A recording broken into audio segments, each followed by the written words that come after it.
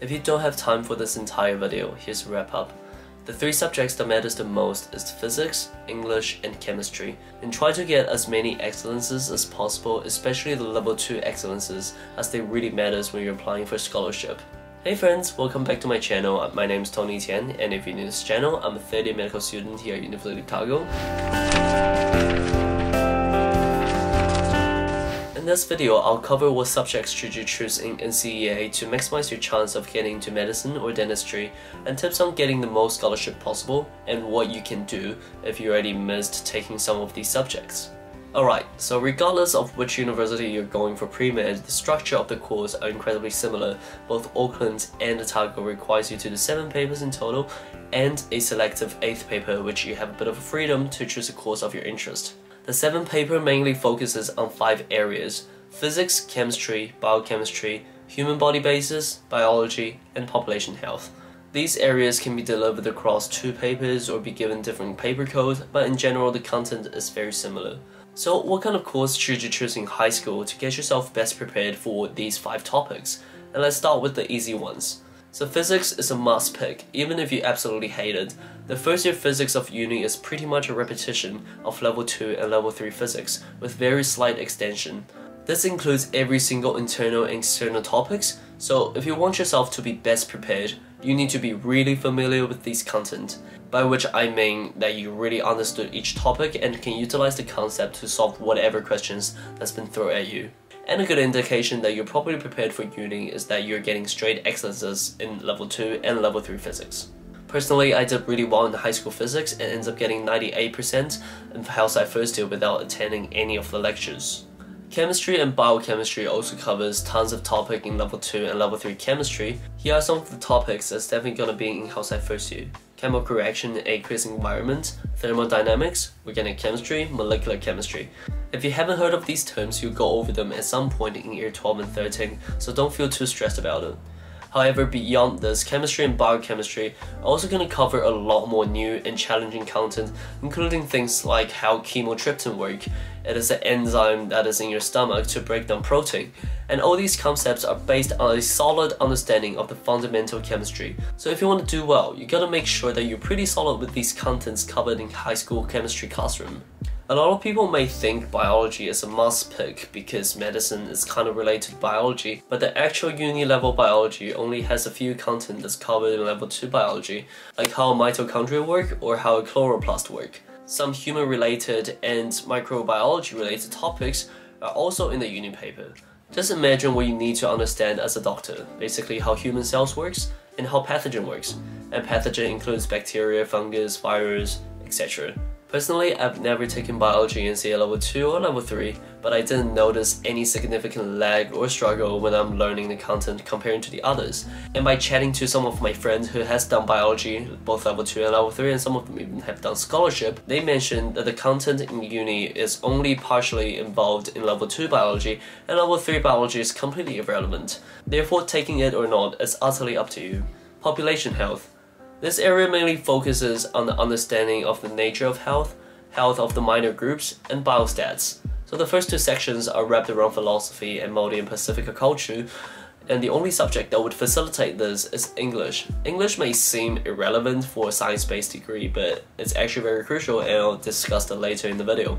Biostats is essentially just stats with some health-related context. The NCEA stats doesn't really give you a significant enough advantage as it covers a mixture of designing, conducting, and interpreting statistical study at a superficial level, whereas a 100 level, meaning first year uni level stats, is focused on interpreting sophisticated academic research data. Therefore, taking stats or calculus for NCEA doesn't really matter, but taking a math subject is still highly recommended, as you want to be familiar with mathematical thinking, which is crucial for your physics, chemistry, population health paper, and future learning in medicine. The last one is human body system. So this is not covered by any NCEA subjects that I personally know of, but I did go to a really small school so we didn't get offered too many subjects. This section mainly covers anatomy, physiology, and histology of different body system. So basically these three terms essentially just means what it looks like, how it works, and what it looks like under a microscope. The system covered includes but not limited to musculoskeletal, immune, renal, digestive system, etc. I'll roll out some videos over the summer as well to give you guys a overview of what content is covered in these papers just in case you want to do some pre-study. Last but not the least, I want to talk about English here. This is probably one of the most hated subjects of all time for a lot of people, and especially if you're a science person, you might just despise it even more. But in a degree like med or just any science paper, English is pretty much a nightmare that you never escape. In the last three years, I wrote tons of reports, essays, reflections, etc. And my friends doing science degree like biochemistry have to write reports almost every week and I'm incredibly grateful that I've taken English in high school which taught me how to craft these writings and write a piece that's not too horrible. So you definitely want to acquire the skill and polish it up as early as possible rather than working on it in uni while having other much harder exams alongside.